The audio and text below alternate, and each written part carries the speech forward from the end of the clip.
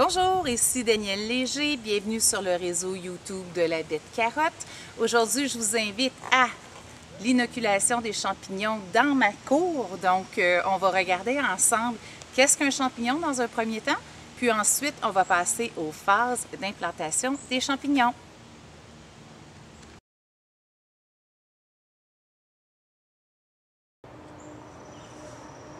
Donc, on va regarder dans un premier temps qu'est-ce que les champignons?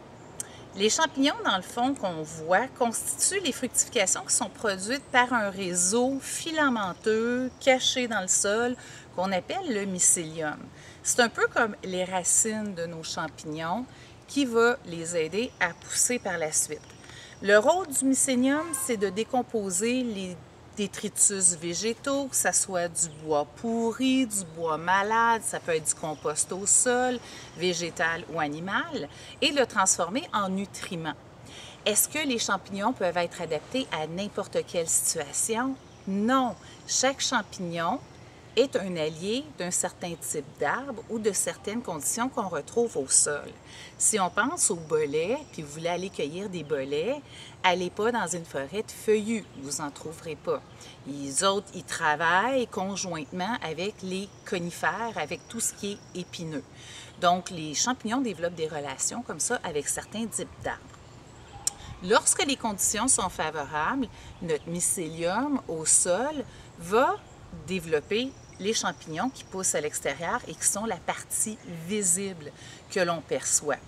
Euh, cette année, il y a très peu de champignons. Je suis un petit peu déçue. Là. Je vous montre mes petits champignons de, de gazon. Mais vu les conditions, je voulais faire ma propre culture de champignons dans le jardin. Puis je voulais aussi vous montrer les différentes étapes, coup que ça vous donne le goût de faire la même chose. Donc, on regarde ça ensemble. Donc, le premier champignon, qui est le champignon blanc que j'ai planté à droite, qui est la pleurote en huître de l'orme dans notre cas, qui est un champignon qui est fait comme ça avec des lamelles qui descendent jusqu'au pied, puis qui pousse habituellement sur les troncs des arbres. Donc ça, ça va être le premier que je cultive. La bête carotte me raconte une histoire de champignons. Donc, le deuxième champignon aujourd'hui qu'on a inoculé dans le sol est le à anneaux rugueux ou le strophère dit rouge vin aussi. Donc, c'est un champignon comme ça que la tête euh, rougeâtre et que je vais essayer de cueillir jeune. On dit qu'il est meilleur jeune. Donc, euh, c'est là-dessus que je vais focuser. La première chose quand on veut faire la culture de champignons dans une cour, dans un environnement, euh, il faut trouver un bon site pour nos champignons. Ce qu'on veut, c'est un site qui va rester le plus humide possible, puis qui est à la mi-ombre. Il ne faut pas que ça soit non plus en plein soleil parce qu'il faut que nos copeaux de bois dans lesquels on va inoculer nos champignons restent humides. Donc ça, c'est la première chose. Endroit mi-ombre. Ici, c'est un bas de pente, donc je sais que ça va rester humide. Euh, puis en plus, mon sol, regardez, on le voit bien, la terre en arrière, c'est argileux. Donc, ça va conserver l'humidité au niveau de mes champignons. Euh, on va faire attention aussi euh, à l'arrière. Il n'y a pas de sapin baumier. Bien, sapin baumier, c'est moins pire, mais il n'y a pas de cèdre, parce que les cèdres, eux autres, ont tendance à tuer le mycélium. Donc, ils sont antifongiques, antibactériens un peu. Fait qu'on n'en veut pas dans notre environnement non plus. Donc, tout ce qui est tuya, on n'en veut pas.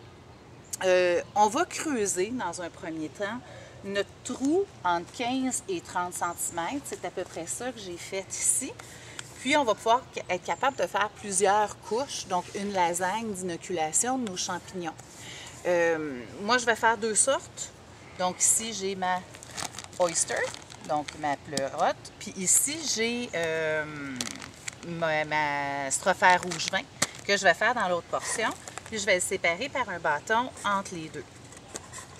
Donc ça, c'est une autre étape. Euh, avec chaque sac, c'est à peu près un kilo de champignons. Je vais être capable de faire trois couches de chacun pour la culture.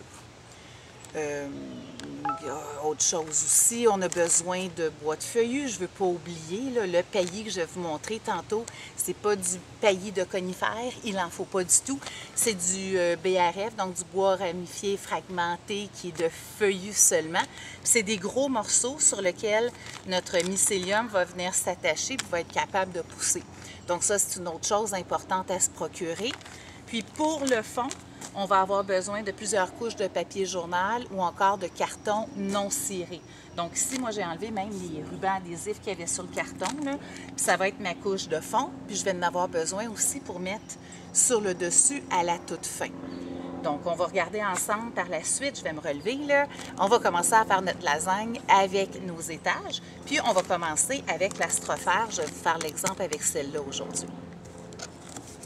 Donc, je vous montre dans un premier temps le mycélium. Donc, c'est ça. On s'aperçoit les lignes blanches, donc l'espèce de petite moisissure qui s'est faite en réseau à l'intérieur. Ça, c'est de la sciure de bois qu'utilise euh, chez Mico Boutique, où je les ai commandés pour faire pousser, dans le fond, le réseau de ramification du champignon. Ce qu'on va faire aujourd'hui, on va le casser en toutes petites particules, puis on va venir le déposer sur nos copeaux de bois dans le fond de notre voûte. Puis ce réseau-là va se refaire pour faire émerger les champignons à peu près dans, je vous dirais, 3-4 mois. Donc, si tout va bien, on devrait avoir nos champignons au mois d'octobre. Donc, les trois couches euh, de l'astrophère à nos rugueux, astrophère rouge vin sont faites dans le fond.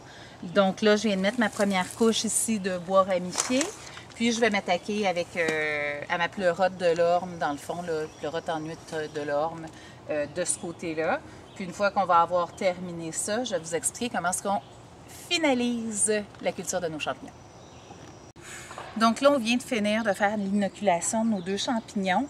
Comme vous avez vu, j'ai cassé vraiment le mycélium existant en toutes petites particules pour que ça l'adapte bien, bien, bien à ma fibre de bois, de feuillus que j'ai à l'intérieur de mes deux sections, donc de mes deux champignons. La dernière étape qui me reste pour conserver l'humidité au niveau de mes champignons, c'est de prendre encore une fois des cartons. Ce que je vais faire, je vais venir les installer par-dessus mon bois ramifié. Je vais voir, euh, je pense que ça va plus aller dans ce sens-là. Je vais peser dessus un peu, comme il faut. Je vais en mettre tout le long. Puis je vais mettre des roches dessus pour que le carton reste en place, pour pas que ça prenne dans le vent, bien entendu, puis que ça puisse conserver l'humidité. Donc, je vais venir surveiller mon, taux d'humidité à tous les jours pour m'assurer que c'est bien humide. Euh, c'est sûr que le mycélium à des températures en bas de 15 degrés, ça va se développer plus lentement.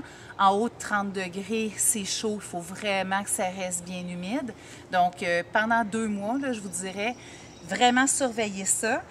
Au bout de deux mois, après avoir arrosé, lever mon carton, arrosé souvent, quand je vais lever, il va commencer à avoir le mycélium qui va s'être développé à la surface. Là, je vais enlever mes cartons à ce moment-là.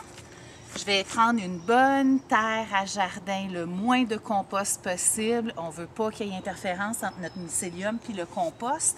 Ça peut tuer notre mycélium encore une fois. Donc, juste une bonne terre à jardin.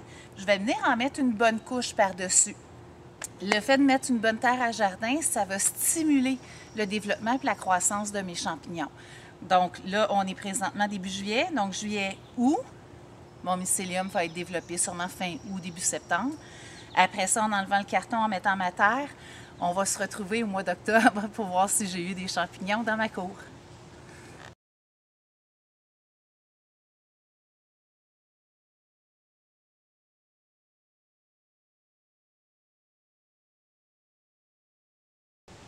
Donc, euh, pour conclure aujourd'hui, si vous partez à la recherche de champignons dans le bois, c'est pas euh, champignons euh, nous mangeons là. Faut devenir quand même assez expert puis assez ferré puis être capable d'identifier les champignons comme il faut avant de les consommer. Alors, je vous conseille vivement de trouver dans votre région un groupe de mycologues. Moi, il y en a un ici à Prévost auquel je vais me joindre. D'aller sur les pages euh, aussi Facebook. Euh, il y a un groupe d'identification des champignons sauvages du Québec avec Nico Mycologue euh, qui est responsable et qui m'aide beaucoup aussi à la découverte des champignons.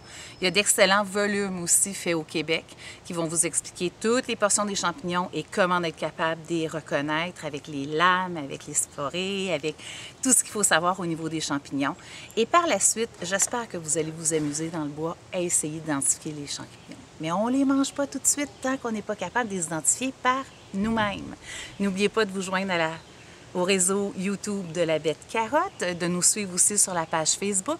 Et si vous avez des questions sur les différentes étapes aujourd'hui de la mise en place de notre petit jardin de champignons, n'hésitez pas à me contacter.